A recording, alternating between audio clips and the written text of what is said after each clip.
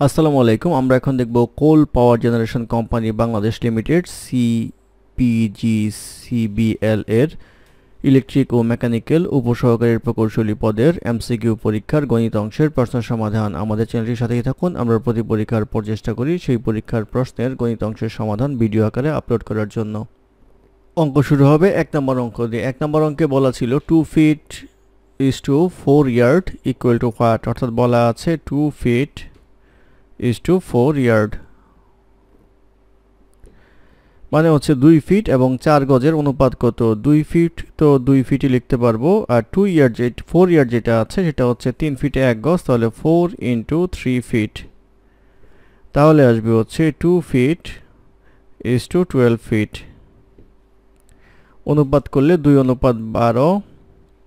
আসবে হচ্ছে one is to six one is to six হবে এই প্রশ্নের উত্তর।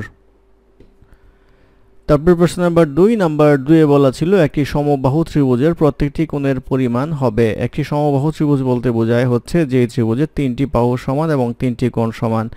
সেই ক্ষেত্রে সমবাহু ত্রিভুজের প্রতিটি কোণ হবে হচ্ছে সিক্সটি ডিগ্রি এটি হবে এই প্রশ্নের উত্তর। তারপরে প্রশ্ন নাম্বার তিন, নাম্বার তিনে বলা আছে, দুইটি ঘণ্টা যথাক্রমে ছয় ঘণ্টা ও আট ঘণ্টা পর পর বাজলে কত সময় পর তারা একত্রে বাজবে? এটা জাস্ট লসাগু করলেই হয়। ছয় এবং আটের লসাগু যদি আমরা করি, তাহলে দুই দিয়ে করলে আসবে হচ্ছে তিন, চার। আর করা যায় না, তাহলে দুই ইন্টু তিন ইন্টু চার, অর্থাৎ চব্বিশ ঘণ্টা পর পর বাজবে। এটি হবে এই প্রশ্নের উত্তর।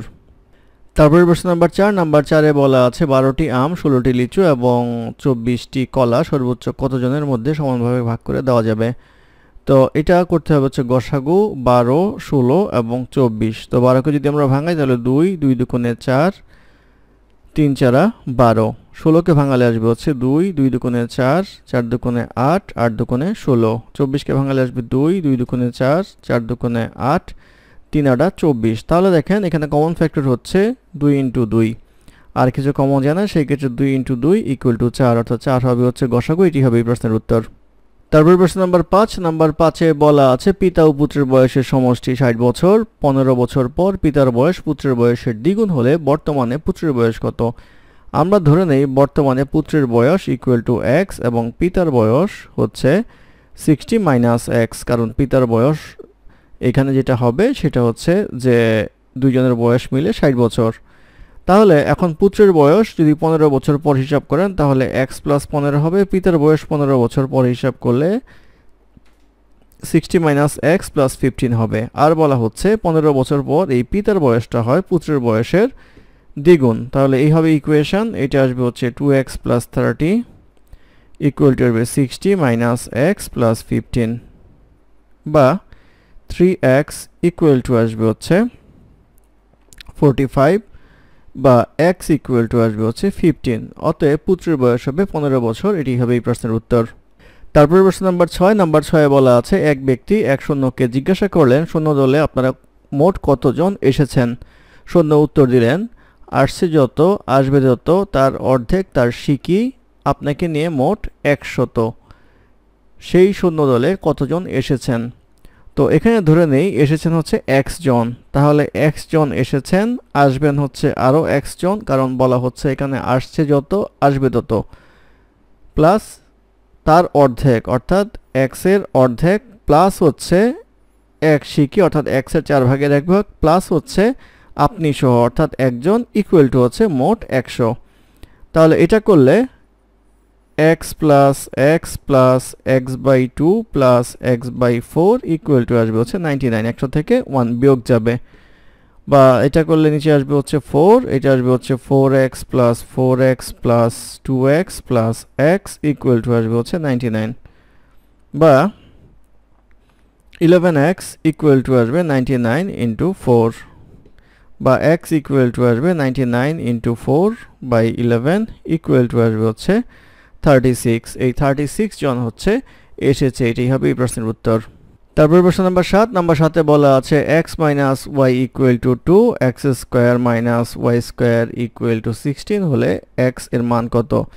তো এটা করলে পাওয়া যাবে x plus y into x minus y equal to sixteen বা এখান থেকে x plus y equal to আসবে হচ্ছে sixteen by x minus y মানে হচ্ছে সিক্সটিন বাই টু কারণ x minus y equal to two equal to আসবে হচ্ছে আমাদের এইট তাহলে x plus y equal to লেখা যায় হচ্ছে এইট এই দুইটা ইকুয়েশন যোগ করলে আমরা পাবো two x equal to ten x equal to পাবো হচ্ছে ফাইভ এই ফাইভ হবে হচ্ছে এক্সের মান এটি এই প্রশ্নের উত্তর।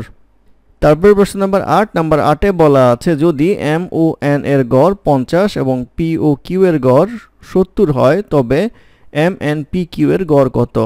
তো এম এবং এন এর গড় যদি হিসাব করেন m plus n by two equal to আসবে হচ্ছে পঞ্চাশ। তাহলে এখান থেকে লিখতে পারব হচ্ছে m plus n equal to আসবে হচ্ছে একশো। আবার পি এবং কিউ এর গড় বলা হচ্ছে সত্তর, তাহলে p plus q by two equal to হচ্ছে সেভেন্টি তাহলে p plus q equal to আসবে হচ্ছে ওয়ান ফোরটি এখন দুটি ইকুয়েশন যোগ করি, তাহলে m plus n plus p plus q equal to আসবে হচ্ছে একশো প্লাস একশো চল্লিশ। বা আমাদের হচ্ছে গড় করতে হবে। গড় করলে এটাকে চার দ্বারা ভাগ করব। M plus n plus p plus q divide by হচ্ছে ফোর ইকুয়াল টু আসবে হচ্ছে two forty by four equal to আসবে হচ্ছে সিক্সটি অর্থাৎ সিক্সটি হবে হচ্ছে গড়, এটি হবে এই প্রশ্নের উত্তর। তারপর প্রশ্ন নাম্বার নয়। নাম্বার নয়ে বলা আছে, কোন আসল পাঁচ বছরে সরল সুদে বৃদ্ধি পেয়ে দশ হাজার এবং দশ বছরের বৃদ্ধি পেয়ে বারো হাজার হবে? তো এখানে বলা হচ্ছে, পাঁচ বছরে সুদ আসল ইকুয়াল টু আসবে হচ্ছে দশ হাজার। আর দশ বছরের সুদ আসল ইকুয়াল টু হচ্ছে বারো হাজার। তাহলে বিয়োগ করলে আমরা পাবো হচ্ছে পাঁচ বছরের সুদ ইকুয়াল টু হচ্ছে দুই হাজার টাকা। তো আমার প্রথমে বলা ছিল পাঁচ বছরের সুদ আসল হচ্ছে দশ হাজার, আর পাঁচ বছরের সুদ হচ্ছে দুই হাজার। তাহলে দশ হাজার থেকে যদি আমরা দুই হাজার বিয়োগ করি, অর্থাৎ আট হাজার টাকা, এইটা হবে হচ্ছে আসল। অর্থাৎ প্রথম যেটা বলা আছে, পাঁচ বছরের সুদ আসল মানে সুদ আর আসল মিলে হচ্ছে দশ হাজার, সুদ আসছে হচ্ছে পাঁচ বছরের জন্য দুই হাজার, বাদ দিলে হবে হচ্ছে আট হাজার, এটি হবে এই প্রশ্নের উত্তর। তারপরে প্রশ্ন নাম্বার দশ, নাম্বার দশে বলা আছে, একশো টাকায় বারোটি লিচু কিনে, একশো বিশ টাকায় দশটি লিচু বিক্রি করলে শতকরা কত লাভ হবে?